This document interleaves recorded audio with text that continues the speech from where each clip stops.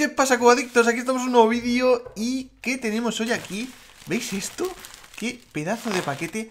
No sé si sé lo que viene, ¿vale? Ahora me explico. Hace muchísimo tiempo que estoy esperando un paquete con algo que sí que es enorme, así que... No sé, Vamos a ver si de verdad es lo que creo o no Y ahora os cuento de dónde viene, claro Porque si no es lo que creo, pues... Ahora lo entenderéis todo A ver, ¿es lo que creo que es o no lo es? Ostras, sí que lo es, sí que lo es ¿Vale? Vamos a verlo poco a poco ¿Qué estamos viendo aquí? Parece que vienen como muchos cubos aquí juntos, ¿no? ¿Cuántos cubos hay aquí? Y si os digo que solo hay un cubo en este paquete, ¿cómo os quedáis? Madre mía. Vale, vale. O sea, el cubo más grande que he visto en mi vida y que ha estado aquí en mi habitación, lo tenemos hoy aquí delante. A ver si consigo sacarlo. Buah. Qué bestia, qué bestia. O sea, mirad esto. Hoy no voy a poder hacer mucho zoom porque es que ya está. O sea, se está saliendo de pantalla. Bueno. Vamos a intentar abrirlo, viene muy bien empaquetado La verdad es que se lo han currado Ahora sí que puedo decir que viene de Light Take, ¿vale? Porque no tenía muy claro de dónde venía esto Pero sí, el grande es de Light Take A ver Uf, Como ya sabéis, dejaré enlaces de compra en la descripción Por si a alguien le interesa este pedazo de bicho Que tengo ganas de ver cómo gira Pero ¿veis esto? ¿Cómo impresiona? Por favor, viene aquí un poco abierto Ahí está cerrado Vale, pues a ver, a ver, tengo ganas de girarlo, de verdad y esto también se debe lubricar, supongo Pero claro, ¿cuánto lubricante gastas aquí? La marca, aquí estamos viendo He-Shu He-Shu He-Shu, o algo así Plástico, no es que me guste mucho, ¿vale? Ya sabéis, no me emociona mucho, ¿no? Pero es que el cubo vale la pena Me da igual como venga, la verdad ver, a ver, a ver Qué bicharraco Vale, esto fuera Que alguien me diga dónde voy a poner yo esto en la estantería Porque no tengo mucha idea Pero bueno eh, hay una manera de abrir esto sin romperlo. Uf. Igual. Igual no, ¿eh? Pero bueno, esto sí se saca un poco. Ahí. Uf, viene la esquina un poco tocada. También viene un poquito sucio. Pero bueno, ¿qué más queremos? A ver. Viene algo más. Viene bastante sucio. De hecho, igual hay que pasarle un trapito. Los colores... Vamos a, hacer una inspección de este cubo. Los colores son bastante feitos, ¿vale? Igual este perfil me quedaría con él. ¿Veis? Tiene el típico color de stickers, ya sabéis. El que casi no me gusta, pero yo tengo ganas de ver cómo gira esto. No sé si alejar un poquito más la cámara, ¿eh? Porque creo que os vais a marear al final, así que vamos a alejar un poco. Vale, yo creo que ahí ya estamos bastante bien. Ya no se sale de la pantalla. Lo podéis apreciar perfectamente. Mirad qué bicharraco. Increíble este cubo, ¿eh? O sea... Ahora ya sí que este es el más grande de mi colección, incluso superando el 13x13, porque antes, bueno, tenía 3x3 grandes, pero no superaba el 13x13 porque en cuanto a tamaño el 13x13 ganaba a todos. Pues ahora no. ¡Qué charraco! ¿Y cómo gira esto? Porque, a ver... Buah. Vamos a hacer el patrón este aquí. A ver. Uh, cuesta mucho girarlo, ¿eh? Igual, hasta que no le coja un poco el truquillo. Ahora el otro lado. Ahí. Y ahora este lado. Por último... Uf, ¿cómo cuesta? Oye, pero es muy gracioso, ¿eh? Esto, esto sí que es lo típico que enseñas cuando viene alguien a tu casa ya. Si se sorprendía viendo la colección, le sacas esto y dice, venga, aprende a resolverlo. Madre mía. no sé hasta qué punto esto va a ser fácil. A ver, corte de esquina parece que no tiene, ¿verdad? Vamos a, a volver a ponerlo como estaba. Uy, uy, uy, que me estoy haciendo un lío. Ahí.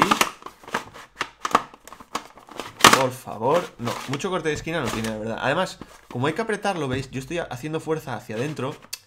Claro, ahí ya estoy evitando cualquier tipo de corte de esquina. Uf. A ver, así. Vamos a comprobar corte de esquina. Vamos a poner el perfil que más me gusta, que es este. A ver, ¿veis? Se queda como pillado aquí. ¿Veis lo que os digo?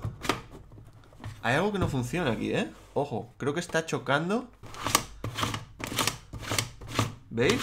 Aquí sí que gira, pero Hacia allá hay algo que choca y yo no lo estoy viendo Vale, ¿veis? Tiene como unas pequeñas rebabas por dentro Entonces, si le das con fuerza Empieza ya como Como a coger ya cuerpo, ¿no? Empieza... Se deben limar un poquillo entre... ¿Sabéis? El rozamiento de las capas Pero bueno, la cuestión, vamos a elegir otra capa Porque si no vamos a estar ahí medio año A ver no tiene ningún tipo de corte de esquina. Me estoy dejando los brazos. Vale, pues no. Inverso. Eh, un poquito tiene, ¿eh? A ver. Un poquito tiene. Pero del normal no tiene nada, ¿verdad? No. Yo por lo menos en este cubo no consigo... No consigo... Eh, ahí sí. Vale, vale, vale. Es que también, claro, contamos con eso de que dentro debe tener las rebabas muy grandes, ¿vale? Debe haber trozos de plástico grandes, que si chocan entre ellos, pues evita que puedas girar la capa y eso es un problema. Con el uso me imagino que irá mejorando, que tampoco creo que vaya a usar mucho este cubo, ya os digo, esto es, yo creo que pura decoración. De hecho, os voy a decir una cosa, si yo viera este cubo, ¿vale? Tal cual, sin girar, creo que me lo compraría para decorar la estantería, ¿vale? Tal cual así de grande, pero que no girara. Entonces, si le sumamos el hecho de que puede girar, aunque bastante mal, pero que gira, es una pasada. O sea, es, una pasada este cubo. Me encanta. ¿Puedo girar la esquinita? ¿Estilo mi canal o qué? Esto no lo sé, ¿eh? A ver. No, sé cómo tratarlo. Creo que no, ¿verdad? Estas piezas no son... No parece que vayan a girar. ¿Y puedo sacar una arista? A ver. ¡Qué bestia, tío! ¡Ay, viene lubricado! No sé si lo podéis ver ahí un poquillo con el reflejo, pero veis, viene bastante mojado. ¡Qué guay! Entonces sí que podemos girar la esquina. A ver, ¿veis? Es totalmente hueca por dentro. O sea, las piezas son huecas. Y esto, no sé si se separa. Prefiero no intentarlo más, a ver si me lo voy a cargar al final. No me gustaría. Así que vamos a hacer aquí nuestro giro de la esquina. Así. Y ponemos nuestra lista. Si es que lo consigo. Ahí. Perfecto. Ponemos en su sitio. Y ahora sí. ¿Veis? Este cubo se va a quedar tal cual decorando la estantería. Mira, qué bicharraco. Me encanta, ¿eh? Tengo que decir que me encanta. O sea, a pesar de que el giro sea bastante penoso, y ya os digo, sobre todo con el tema de las caras, aquí, por ejemplo, hay que hacerlo fuerte para que consiga girar porque hay algo que choca por ahí dentro. Entonces, una de dos, o se abre para ver qué hay y se quita lo que haya, ¿vale? Si hay algún trocito de plástico que molesta, o igual también puede ser una de estas piezas, ¿vale? Que choca bueno, si lo haces con cuidado sí que gira. Bueno, no lo sé, la verdad. La cuestión es que el giro no es lo que destacaría de este cubo, sino lo que impresiona y lo gracioso que es. Es, una pasada. De hecho, vamos a comprobar una cosa. A ver, un momento. Aquí tengo un cubo normal y corriente, ¿vale? Porque puede que ahora mismo no hubiera la proporción en sí, ¿vale? Porque no había nada para comparar. Pero fijaos, una sola piececita, o sea, un solo cubito de, de lo que forma el cubo de Rubik, es como un cubo de Rubik normal. Incluso un pelín más grande cada pieza, ¿eh? No sé si os fijáis ahí. Pero bueno, más o menos es lo mismo.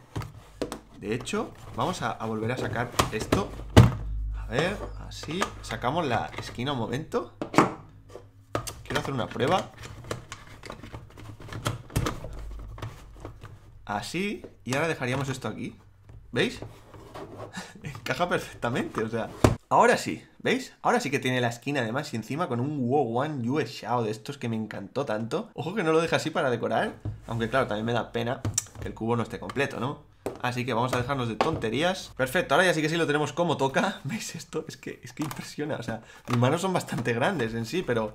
Imaginaos que tuviera unas manos pequeñitas normales, o sea, sí, enorme. Tengo que pensar dónde lo voy a poner porque me he quedado sin sitio en la estantería, ¿vale? Para cubos, así que tengo un serio problema ahora mismo y no sé dónde lo voy a poner. También para que os hagáis una idea de lo grande que era el 13x13, bueno, que era, no, que es, no sé por qué hablo en pasado, pero ya sabéis que el 13x13 sí que lo conocéis más. ¿Veis lo bicharraco que es? Pues mirad este al lado. mirad esto, la diferencia que hay ya incluso de altura, ahí los pongo a ras. ¿Vale? O sea, toda esta capa ya es más alta que el 13x13. Y ya vamos a hacer algo de lo que estoy completamente obligado, que ahora vais a ver. Y es lo siguiente. Aquí está. Más contraste que esto es que yo ya no puedo tener en mi colección. O sea, el cubo de Rubik más pequeño de toda mi colección. Y el pedazo de cubo 3x3 enorme, el más grande de mi colección. Si no me equivoco, me parece que eran 180 milímetros, ¿vale? O sea, 18 centímetros de lado. Tony Fisher realmente creo que es Tony Fisher el que tiene el récord mundial en cuanto al cubo de Rubik más grande, ¿vale? Que tiene uno en su casa, que yo no sé si es casi tan alto como él, Ahora mismo no lo recuerdo, pero sé que ha estado subiendo por ahí fotos, incluso le dieron el, el récord mundial de cubo 3x3 más grande del mundo. Vino la televisión a su casa y todo porque era un bicharraco, ¿vale? Pero eso ya estamos hablando de, otras cosas.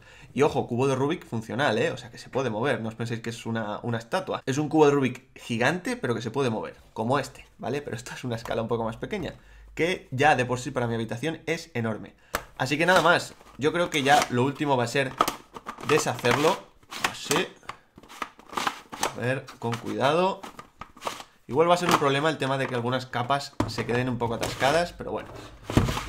Mirad qué bien queda encima, así deshecho.